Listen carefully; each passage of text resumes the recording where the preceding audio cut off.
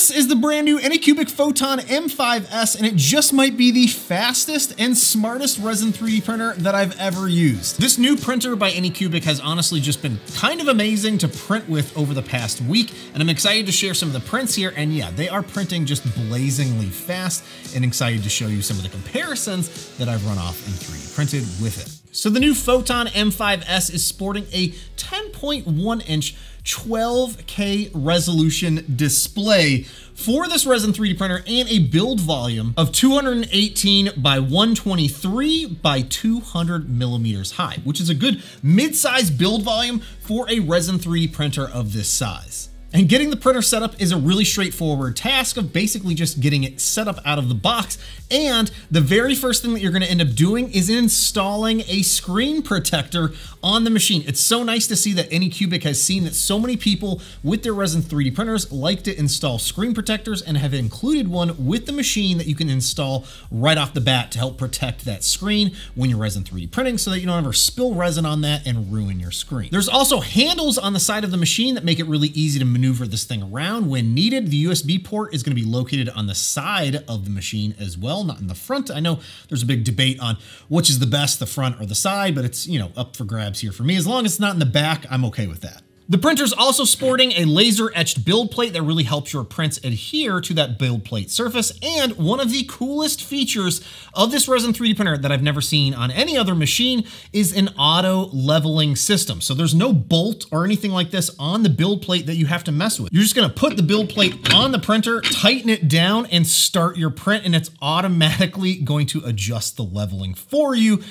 during your printing. It's kind of amazing. And so far I've had zero issues with my prints either adhering or the auto bed leveling system with this. If anything, I might just need to adjust some of my bottom layer settings to make it easier for me to get my prints off of the build plate. And I know a number of you like to install those magnetic flex plates to your resin 3D printers to make it easier to flex your prints off after you're done printing with them. And I wasn't sure how this would work with this auto leveling system here on the new M5S. Well, I went ahead and put a piece of paper in the vat along with a few sheets of uh, the build plates there since I didn't have an extra magnetic thing laying around that would fit this build plate and just went ahead and tried to start a print and see if it would actually end up auto leveling properly and continue with the printing process.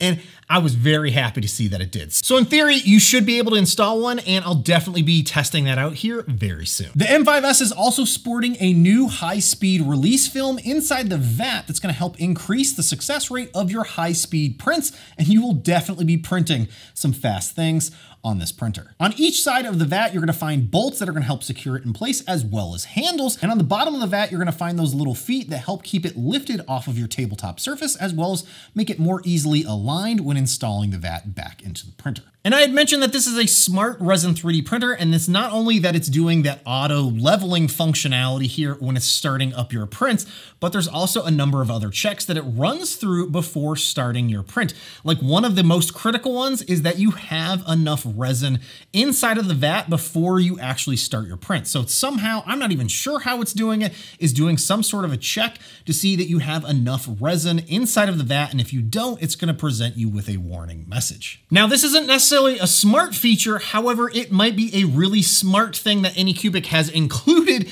inside this 3D printer that I have not seen on any other machine, which is at the end of your print, regardless if you've, uh, you've it's finished its job or maybe you had a failed print and you needed to stop the print, there is a vat clean function right on that end screen. Thank you. That is incredibly awesome. It's really handy to have that there in place so that you don't have to go digging through some other sub menus to find a vat clean function when you need to run off and clean out your vat. Now here's a crazy one. Anycubic's Photon Workshop, their slicer for the Resin 3D printers, is now actually good. There's a new update that now includes the Photon M5S, and there's predefined profiles that work surprisingly well for this printer. And in fact, I used this slicer and it's incredibly fast now, and I used their default profiles for everything that I printed, and they worked so well. I'm honestly shocked by this because in the past, Photon Workshop hasn't been that great, but it looks like they've put in a lot of effort to make this really fast and usable. And honestly, if you're new to resin 3D printing,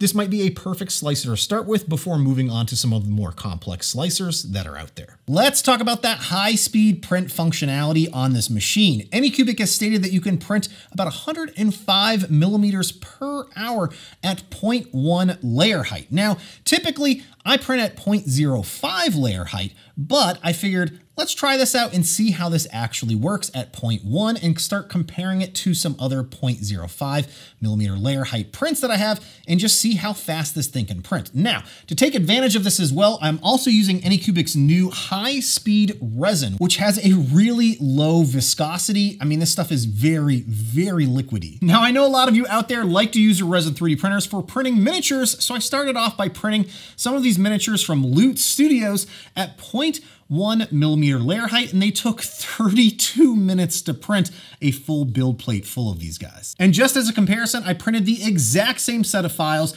with the exact same settings, the only difference changing it from 0.1 to 0.05 layer height, and these printed in exactly one hour. Now, I'm going to be honest with you guys here. I can't really spot the difference between the miniatures unless I get in extremely close on these and start trying to examine every little nook and cranny of these 3D prints to try and spot the differences between the 0.1 and the 0.05 layer height prints. I think the 0.05 looks a little bit crisper and cleaner with its details, but if you're looking for some really quick print options, the 0.1 is surprisingly great on this 12K resolution resin 3D printer and I'm still kind of blown away by the print time of 32 minutes. Then I wanted to print something that was a little larger and a good bit more detailed, so I found the Toad Lord from Witchsong Miniatures that printed in 1 hour and 40 minutes at 0.05 layer height. And another fun fact about this miniature is that the base ended up not being hollowed at all, was completely solid, as well as the body torso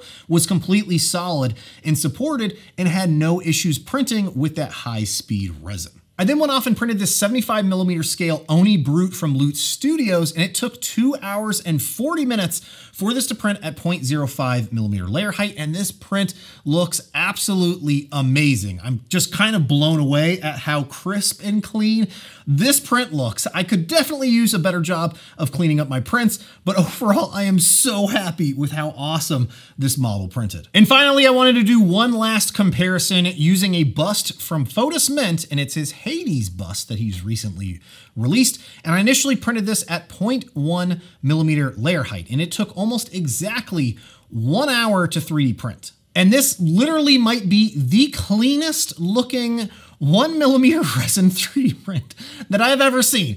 Is it perfect? No. Am I impressed? Yes, very. And honestly, unless I started looking extremely close at this, I probably would have never noticed that it was printed at 0.1 layer height. And just for comparison, I went back and reprinted it, but at that 0.05 layer height, and it took just under two hours to 3D print. Now, this one is clearly better when you compare these side by side. But again, it is really like, unless you're looking for it, you might not even notice that. And still, even at 0.05 layer height, this printed incredibly fast at just under two hours for a print of this size. And as I mentioned previously, Anycubic stated that you can print at 105 millimeters per hour. However, I like to deal with the number of layers that I can print. And in general, what I found is you can print about 500 layers per 30 minutes or 1000 layers per hour, regardless of what layer height that you're printing with. And a great example of this is that Hades bust by Fotis Mint, where at 0.1 layer height, it came in at just over 1000 layers and it printed in one hour. Then by printing it at 0.05 layer height, we've effectively doubled the amount of layers that we're gonna need for that print, and it took just under two hours to print that bust. And while this video is being sponsored by Anycubic, and by no means is this a review of the machine, however, I am finding it amazing to work with. I have run into one issue that I wanted to call out while working with it over the past week, which is I have a small amount of splashing on the inside of the UV protective case. Now, I'm not entirely sure if that's from the high-speed printing or from me removing the case and bumping it into the build plate. Could just happen. And if you're interested in picking up one of these Photon M5S Resin 3 printers for yourself, they'll be going up for pre-order over on Anycubic's website on May 22nd for an early bird pricing of $399 for three days only. So definitely check out the links down below if you're interested in picking up one of these bad boys for yourself. I also want to say a big thank you to all my Patreon supporters for your continued support. If you're interested in learning more about my Resin 3D printer settings or support settings, you can find those over in my Patreon. And if you're looking for a really intelligent Resin 3D printer that is going to do a lot of the work for you, this might be the perfect option for you. I'll definitely have links down below where you can find out more information about the pre-order for the M5S Resin 3D printer. But let me know down in the comments what you think down below of this smart Resin 3D printer that can print really fast. Honestly, loving the auto bed leveling and that just that simple update of having the VAT clean feature right there is just an amazing addition to this Resin 3D printer. Just fantastic. Hey, thanks so much for watching all. I'll see you next time.